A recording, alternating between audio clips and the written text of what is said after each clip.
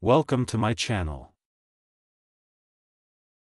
Linksys Velop AX 4200 Wi-Fi 6 Mesh System Setup. Download the Linksys apps from Apple Store or Google Play Store into your mobile phone. Switch off power to your ONT slash modem. Unplug and remove your old router from the ONT/modem. Connect the Ethernet cable from your ONT slash modem to the port near the reset button of your first Velop master node.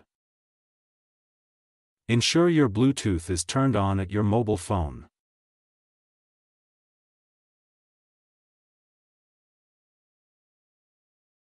Power up the Velop and wait until the LED turns solid purple. Open Linksys apps and follow the instruction.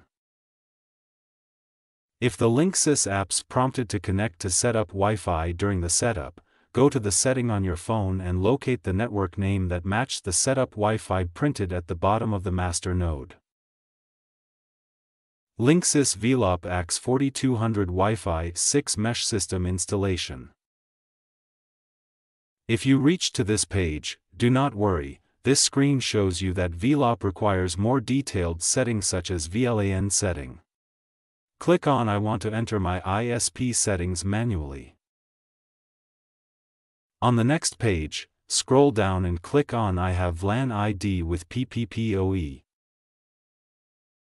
Enter your ISP PPPoE account and VLAN ID.